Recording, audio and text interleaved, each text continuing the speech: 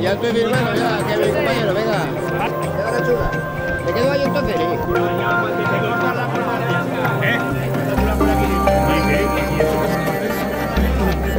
Dale caña. Churro, dale caña ahora a tu este. No, al revés. Al revés.